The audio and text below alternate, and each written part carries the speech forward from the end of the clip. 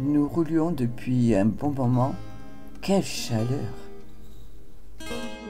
Le désert partout, partout, partout. Et soudain, le miracle, le miracle en plein désert. Un musée. Nous nous y arrêtons. Le créateur de ce merveilleux endroit, M. Saïd Abou, était guide. Il est calligraphe et très célèbre même en France.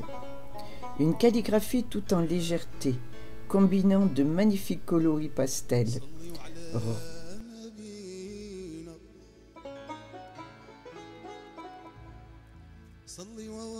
Cet ancien guide a fait des merveilles en recherchant des objets, des ouvrages, des documents, des robes.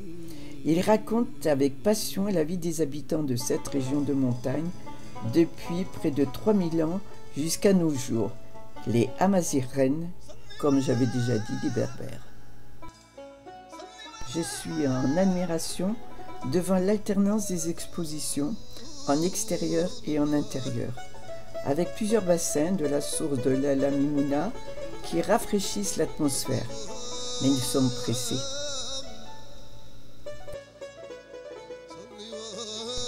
J'y resterai volontiers au moins une semaine, tellement les explications de M. Zaïd et la diversité de ses trouvailles me passionnent et m'apprennent beaucoup.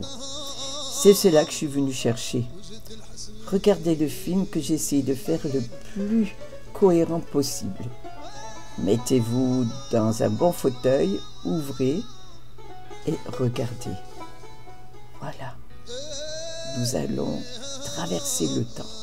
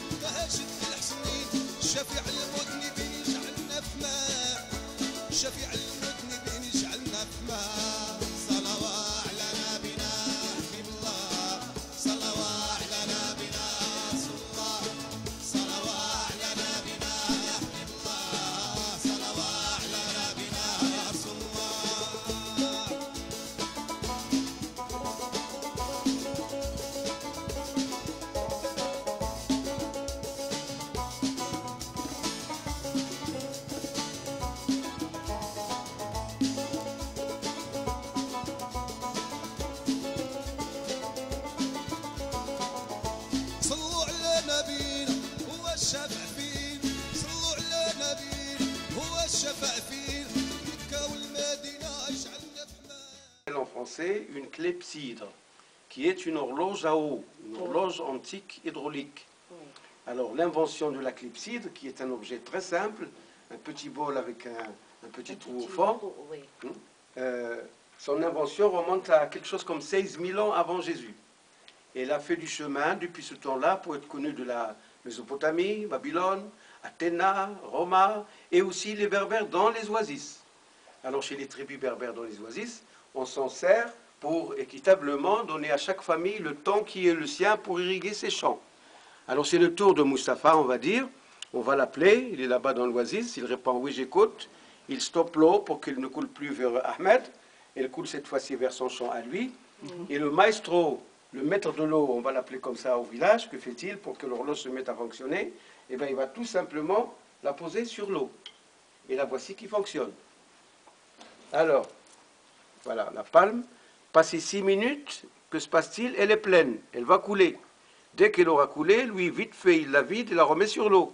Et sur sa palme, il fait un nœud, que voici. Ah. Chose qui veut dire que l'autre là-bas a reçu une tanaste, ça s'appelle comme ça en berbère. Elle coule de nouveau un nœud, et ainsi de suite, jusqu'à ce que le bonhomme ait reçu le temps qui est le sien. C'est-à-dire le nombre de tanastes qui est le sien, et qui est déterminé par la propriété terrienne.